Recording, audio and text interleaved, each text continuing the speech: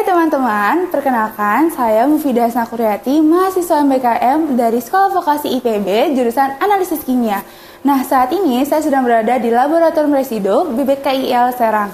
Nah, untuk penerimaan sampel sendiri, sampel yang masuk ke dalam pool akan diserahkan kepada laboratorium yang kemudian sampel yang kemudian sampel dimasukkan ke dalam kulkas.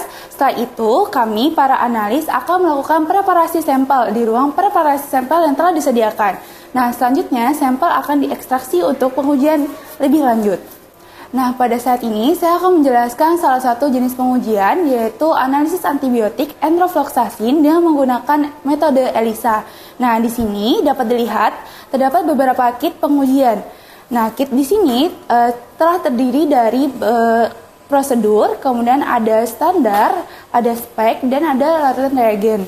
Nah, di sini terdapat plat atau biasa disebut dengan well. Nah, plat ini sifatnya adalah spesifik. Jadi, plat ini hanya digunakan dan hanya dapat digunakan untuk salah satu pengujian saja.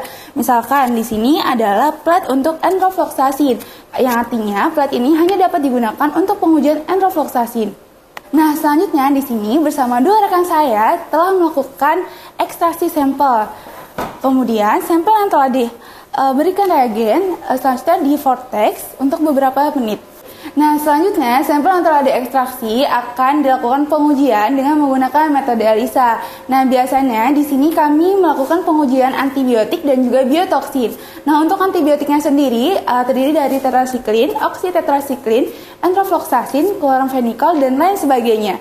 Nah, untuk sampel antibiotik, kita biasanya melakukan pengujian pada ikan, udang, pakan, ataupun sebagainya.